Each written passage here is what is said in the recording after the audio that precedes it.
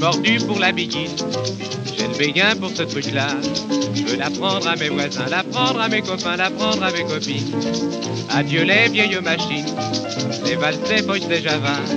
On se balancer à deux comme deux vrais amoureux, la biguine, il n'y a que ça.